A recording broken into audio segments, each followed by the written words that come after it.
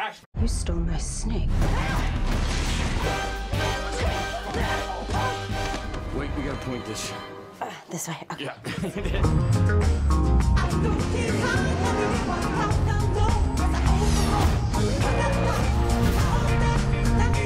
Very handsome.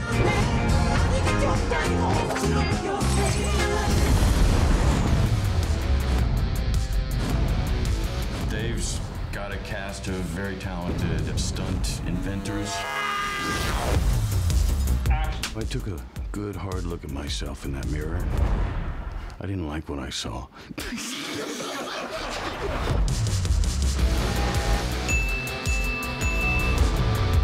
We're up for the challenge of making bold films within the action genre, and I think that was something that was really exciting about Bullet Train. Everyone really is having fun with each other, so you'll see that.